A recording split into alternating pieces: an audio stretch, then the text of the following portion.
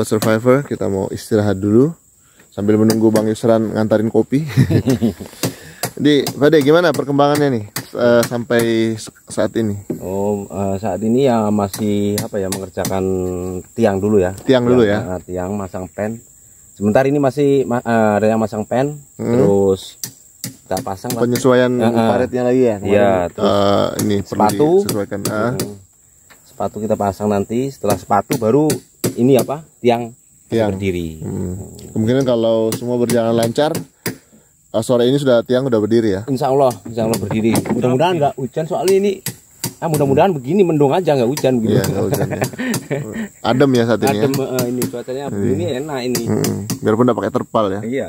Tapi bagus juga ada terpal, jadi jaga-jaga kan. Jaga-jaga siapa tahu ada hujan nanti kan kita bisa berteduh juga gitu. Yang namanya adem ayem ini. Ini kayaknya ada apa nih Pak D?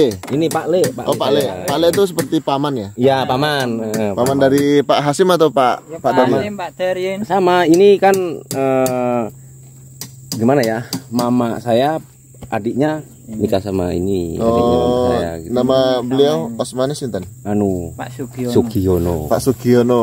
Wes. Sugeng Sugiono bukan? Siang. Ya. Jadi panggilnya Pak Lek Sugi. Nah, itu. Pak No. Pak No, ya. Pak No Kaltara, oh, bukan. bukan lagi itu ya. Kalau Pak Sugi sekarang kesibukannya apa Pak Sugi? Sugiono. Kesibukannya Pak ya? ini tidak ada kesibukan nih nganggur ini. No. Enggak, sebenarnya dia ada kerjaan bulanan. Iya. Cuman kan setengah hari sore itu kan enggak kerja gitu. Kerja nganggur ini. Paling ya ngarit ya. Kemarin tidak ada. Oh, enggak sudah enggak ada. Dijual sapinya. Oh. Oh, sapinya didol. Iya. Tuku apa? Tanah. Tidak tahu mau beli sapi lagi kalau bisa ini. Hmm, gitu. Jadi beli sapi satu untuk beli eh jual sapi satu untuk beli dua gitu ya. Ya mudah-mudahan cukup. Kalau Ya, kambing nggak tertarik? Hah? Kalau kambing. Ya tertarik kan ya. Dan Ada kah kambing nanti? ya kalau kalau apa namanya di tempatnya Pak D itu apa namanya eh apa aja dikembangkan di rumahnya? di rumah. Ya ayam, mentok, ya. Ada banyak Ternak mentoknya. lele juga kok. lele.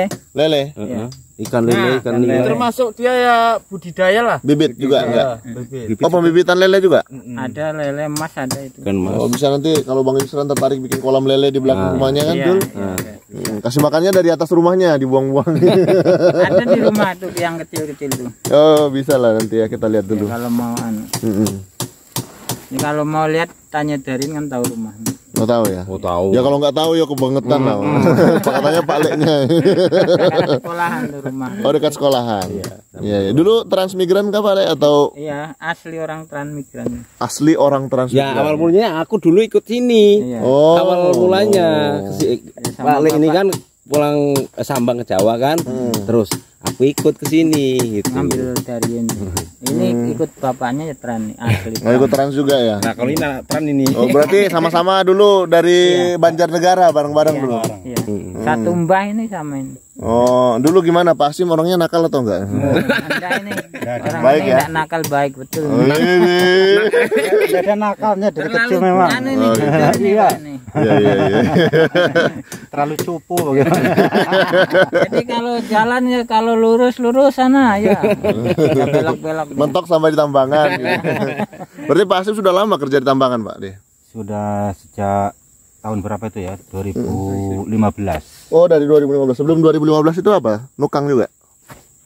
Eh, pernah di kebersihan juga Oh sempat kerja kayak honor di ke ya di kebersihan bersih bersih paret Hmm. bersih bersih bau jalan itu pakai mesin rumput selama sekitar hampir 8 tahun Oh iya. Yang iya. lama ya aku ini. inilah masih sampai Masih- bertahan masih sampai bertahan ya? sekarang. Udah 20 tahun lebih ini. Hmm, masa sudah ada Ada. Ini kalau sudah ada Dari penghargaan 16 harusnya udah dikasih penghargaan ya Pak ya.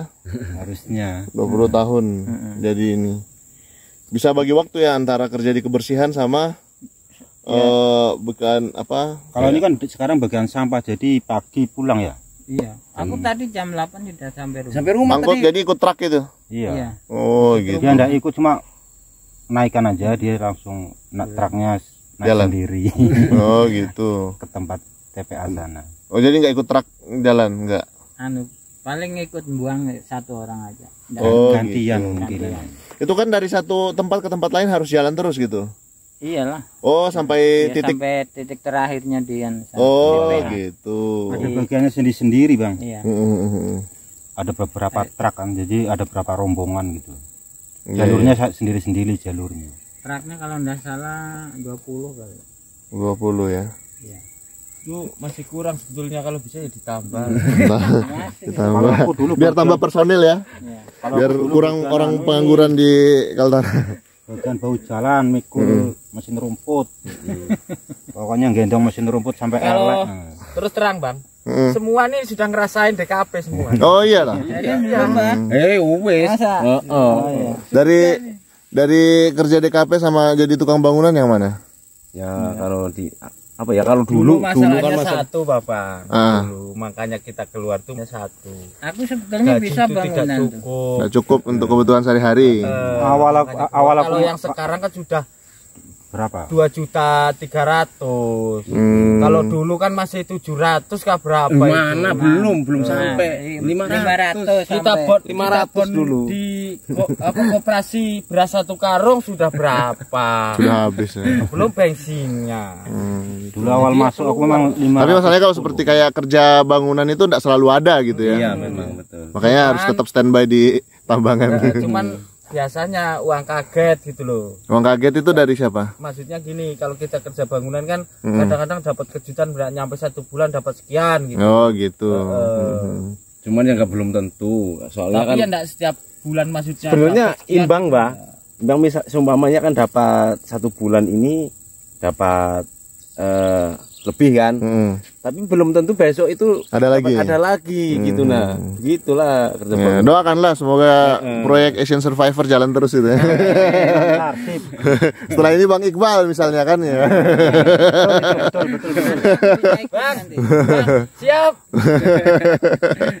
ya gitu ya kita nggak tahu kan gimana. Makanya rezekinya kan Ya, ya, rezekinya sudah ada yang ngatur. Jadi kita tidak berani menjanjikan dan tidak berani ini. Yang penting kita mengalir saja berjalan ikhlas, mengerjakan segala sesuatunya dengan dengan ikhlas dan penuh tanggung jawab. Saya yakin rezeki tidak ke mana lah gitu ya. Betul amin amin amin Baik, sobat survivor. Nah, ini ada apa ini? Kita mau sebutnya apa nih kira-kira?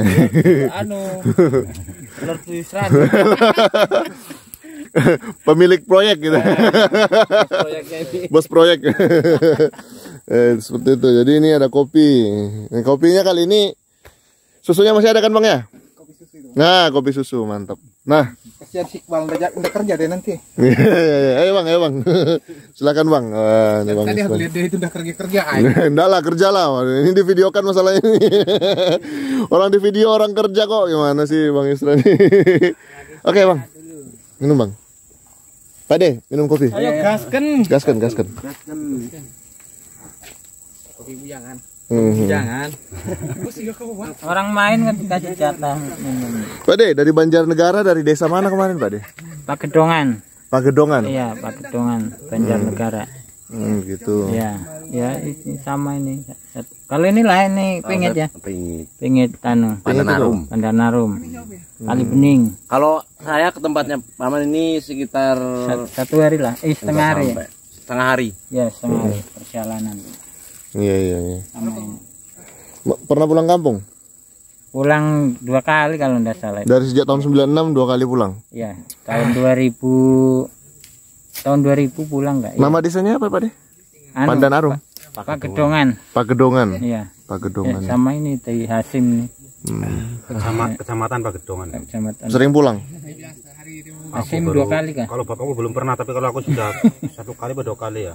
Dingin kan di sana kan? kamu dua kali aku dua kali Saya pernah lewat di sana. Saya taunya lewat sana tuh naik-naik gunung turun gunung kan? iyalah Perbukitan itu. Iya. Saya dari Jogja ke Dieng. Dieng. Oh ya. Kalau Dieng ke sana lagi lu kampungku sudah. Oh gitu. kalau tempatku tidak terlalu gunungnya kalau Dieng tempatnya yang memang lah. Oh dinginnya pokoknya. Dingin. ya Memang sana Berarti 6 jam. Pernah ke sana? Iya pernah ke sana. Oh, sebentar lagi itu lu Ya, dari. Jogja emang enam Iya. jam. Oh berarti tempatnya Pak anu lebih jauh lagi? Iya, ke sana lagi Jauh lagi. malah. Oh, itu ah, saya pernah dengar dulu ada kejadian yang banyak orang meninggal itu kena asap anu belerang itu. Itu sebelum jenengan lahir kayaknya. ya? Mungkin.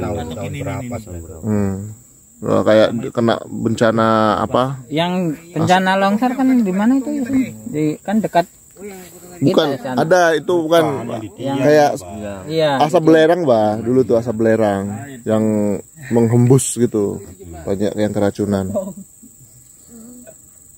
Nah, Sobat Survivor, pennya sudah disiapkan dan ini kayunya sudah dilubangi. Ini bukan pekerjaan mudah ya Sobat Survivor. Untuk mengerjakan satu ini butuh sekitar 30 menit untuk Iya, tangting tangting. ya melubangi ini karena menggunakan uh, alat. Hmm. Ini dari proyek Mas Manto, Pak Matius. Kita lanjut lagi. Jadi proyek semoga selalu awet lah ya. Kurang satu, Pak. Oh iya, betul. Kukira Pak, tempatnya Pak Anu udah ada kayak ini. Belum, belum ada. Belum ada. Awal mulai tempat Mas- Mas Manto. Mm-mm. Kukira tempatnya si sana. Jadi ini juga membelah apa namanya? Oh iya, pakai. Ini juga kema- tadi perlu di adjust lagi jadi dikerjakan lagi sama ini tadi penyesuaian tadi. Oh ya, ini Supaya- kan karena digeser itu tadi pojokannya itu kata Iya. eh, terlalu mepet ke Terlalu mepet ke batas. ke batas, jadi digeser ke sini itu. Iya. Jadi itu sebelah ada rumah lagi tuh. Mana? Itu. Lain. Bukan itu batasnya di sana Oh, itu. batas. Ini rumahnya berjejer semua ke sana nanti. Jenenge Kampung Harapan Baru. Oh, depannya sini. Iya.